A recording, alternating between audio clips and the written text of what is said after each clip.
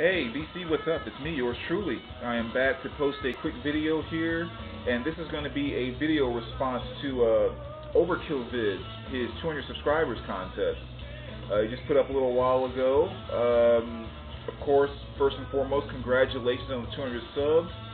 Uh, definitely like your videos. I really appreciate the time and effort you put into making them. Um, love your music room.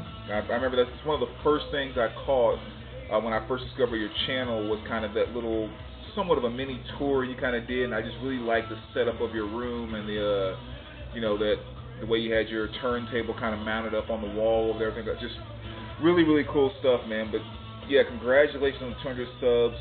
Glad I can have an opportunity to be one of those and to jump in on your contest, which is a really good question kind of seeing the VC come full circle because I actually know we did this thread one time, probably three years ago, something like that. And it was a really great question, so uh, it's, it's kind of good to see some stuff coming around again because obviously music tastes change, new things come in your collection, you rediscover stuff. So uh, I think that might be something we should do more of in the VC now too, as far as threads go, is kind of revisiting some of the ones we've already done a long time ago you know, see how the answers have changed. Um, but yeah, great question. This is a, a fun one to do. So I have some that I picked out the first time I did a response to that type of question, and also some new ones that popped up. So this is going to be kind of fun to do. So let's just kind of go through these really quick. I just picked out the ones that came to mind, just you know, right off the top of my head, and then I kind of held out like my top four, and I'll show those at the end. But first one, which you actually hear playing in the background right now, Kenny Wayne Shepherd. This is Trouble Is. And of course, it's uh, I Don't Live Today. Not quite as good as Hendrix' version, but uh, then again, about as close as you can get, though. It's still a really, really good version. So th- that's a great cover that he did on that. Uh, I'll kind of go back and forth between CDs and and vinyl. This is one that Travis showed. This kind of goes without explanation. Black Crowes, Hard to Handle. That was an old Otis track that they kind of took and and I, I think did justice to it. I mean, um, that's one I think one of the keys in any type of a cover that you do is not you know just to cover it, but do you actually take the song to another level or at least keep it where it was? And I think the Black Crowes did a pretty good job of that with Hard to Handle. Another one here. This is uh, Paul Hardcastle. It's off of Jazz Masters 3. One of the first jazz CDs I ever bought. Uh, back in college, actually. Um, but uh, he does a cover of Ventura Highway. Which you know that's kind of a America track. Really, really good version of that. He kept it really true to the original, you know, kind of flower power hippie kind of style of the song, but did it just kind of jazzy. So a really, really good cover of that. Back to vinyl, Miles Davis. And this is You're Under Arrest. I know, nice cheesy album cover. But he does a really cool cover of Michael Jackson's Human Nature on this album, which I think a lot of people may not be as familiar with this one. But uh, it was also a really good cover. Back to vinyl, my girl, Celine Dion. I love her to death. And she does a fabulous cover of The First Time I Ever Saw Your Face. Girl tears it up, man. She has got a voice on her. Love Celine. Love her to death. So that's definitely one of my favorite covers. Back to vinyl, another one of my favorite female artists, especially from the 80s, my girl Cyndi Lauper. And yes, that is an autographed copy. Thank you, Mr. Crayoni. Um, yes, Cyndi Lauper on this album, she did a, a song called When You Were Mine, which was actually a, a Prince song. Prince actually wrote that song. Um, and I didn't know it for the longest time. I you know I've loved this album since like junior high, high school, and I remember I was watching. Um, there's a movie. I think it was Hamburgers or Hot Dog, the movie or whatever. But in one of the skiing scenes, they played the song "When You Were Mine," and it was Prince singing it. And I'm like, what? And then kind of looked it up and looked on the album actually and discovered, oh yeah, Prince did write that. So uh, she did a, a great cover of that too. Again, I think took it to another level, even beyond the great track that Prince made with that.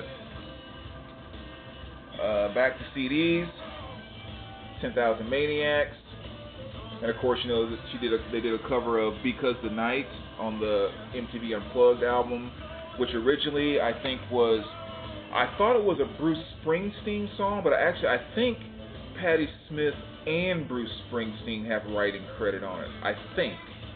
Um, but anyway, that's a, a cover of that. My girl, Tina Turner. Of course, Ike and Tina. Uh, and of course, they did a cover of uh, Creedence Proud Mary, which was, I mean, I think also a cover that kept, you know, kept the song at the level it deserved to be. Uh, I, would, I wouldn't say it's better than the Creedence version, but I also wouldn't say the Creedence version is better than the Ike and Tina version. I mean, I think that they both did great justice to that song. Uh, another one of my my favorites, uh, of course, Joan Jett did a cover of Crimson and Clover. I guess technically on this album, she also did a cover of a Little Drummer Boy, but uh, obviously uh, Tommy James and Shondells, she did a cover of Crimson and Clover. Would I say it's better than the original? Uh, I probably wouldn't say that. I, I think she did it justice. Uh, I mean, it's Joan. You know, I'm gonna melt over anything that Joan does. So that's definitely a great cover as well. And then Garage Inc. by Metallica. And you know, there, there's a number of different cover songs in this album, but the two that really stand out the most to me are uh, Stone Cold Crazy, which of course was a Queen song, and then uh, Am I Evil? I mean, I, I think that's oh, that, that that that was an awesome cover. That that damn near is you know near. I think that, that's actually better than the original version. I mean, th- th- they took that to a whole other level, and they definitely held their own with Queen on Stone Cold Crazy. Um, I, I think I think Metallica they do great covers. When they cover a song, it's it's truly great. But I mean, on here they also did Turn the Page, uh, Tuesday's Gone. I mean, some really really great cover songs on this album. So now, when diving into my favorites here, and I'm, I'm gonna kind of count it down too, from my fourth favorite to my number one favorite. Taj Mahal, Blues with a Feeling. He did a cover of That's How Strong My Love Is, which I know Otis Redding did that song. I'm not sure if he was the actual original artist, but I know he did a version of it, which I always assumed he was the one that wrote it. But Taj Mahal, he took that song to a whole nother level, and it's better than any version I've ever heard off of this album. Uh, so that's how strong my love is by by Taj. Definitely is in the number four spot.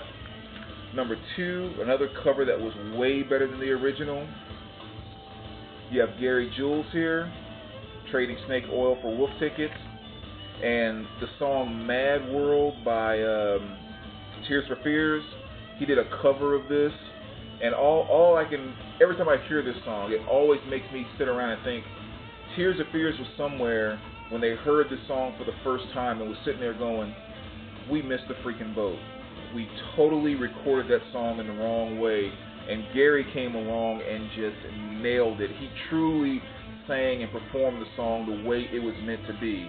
Uh, it's definitely a much more slower, smooth, heartfelt kind of creepy ballad as opposed to the more upbeat type of thing that Tears for Fears tried to make out of it.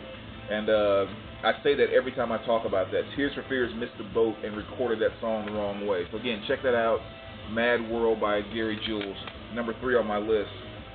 Number two, got to go with my man Joe Cocker.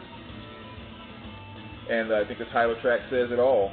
With a little help from my friends, uh, which of course was a uh, Beatles um, you know, I guess the, well, I guess technically the writing credit was Lennon and McCartney, but you know, it's just a Beatles track. And again, I think he took it to an entire, entire another level. I, I don't even really like the Beatles version. I mean, I'm very right here with it. This song sends goosebumps through me. I mean, just all over every time I hear it. And when you watch him perform it live at Woodstock on the DVD, mm, mm, mm, nails it absolutely nails. That's my number two. My number one cover of all time, without question, my favorite cover, and happens to be another Beatles song. It's off of Hey Jude by Wilson Pickett, and it's the song Hey Jude. Now, Hey Jude by the Beatles is a, I mean, it's a total classic anthem without question. And again, Wilson took it to a whole nother level. I mean, that that grit and soul and power that's in his voice, he, he just he, he takes a song to a entirely new level. Especially the part on the in the song, you know, where in, in the regular version of the song, how when they start going into the nah nah, you know, hey Jude part, uh, like right when that kicks in, he goes into this this belt. It's not even a word that he's saying. He's just like screaming at the top of his lungs, and I swear you can just hear his soul pouring out of him. It's just it's so rough and so soulful and so gritty and so powerful, and it's just like it's it's, it's almost the same feeling you get when Hendrix hits some of the notes that he hits when he's you know doing stuff like the like the guitar solo on uh, Voodoo Child or the uh, the 10 second note he holds going into the, the guitar solo on a machine gun. It's like that type of chill, just grit running through your body. If you have not heard that, man, check it out because Wilson tears it up on that song. That song in of itself made him one of my top three vocalists of all time, which is a video that we did a little while back. So that's my number one pick as far as cover songs. So again, overkill. so that's what I like to call you whenever I think about or refer to your videos. Uh, congratulations, man, on the uh, 200 subs. Glad I could be a part of the contest, and definitely look forward to uh, hearing more of your stuff, man. All right, take care, VC. We'll talk to you soon.